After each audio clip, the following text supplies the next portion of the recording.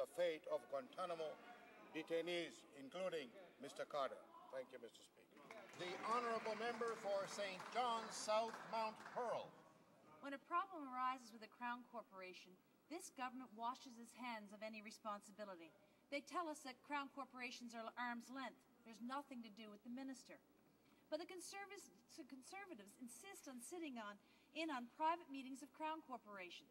They fired the chief nuclear regulator and rid themselves of the commissioners of elections, of information, of ethics.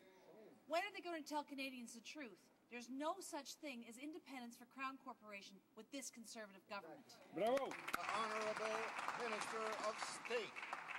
Well, yes, Mr. Speaker, uh, as the honourable colleague knows and everyone in this House knows that Crown corporations uh, serve their day-to-day -day functions at arm's length of the government. But the question is really if there's information that comes to the House for individuals, they, they have the full right, and I will set up any meetings that is needed for them to do the functions of their job here in the House, not only to the honourable colleague, but any of the opposition members at any time they would like. The honourable member for St. John's South Mount Pearl. Mr. Speaker, this is a serious issue. If this government picks and chooses the Crown corporations it gets involved with, then this raises, raises further questions about the allegations linking Conservative Senator Housakos with the awarding of the bridge contracts.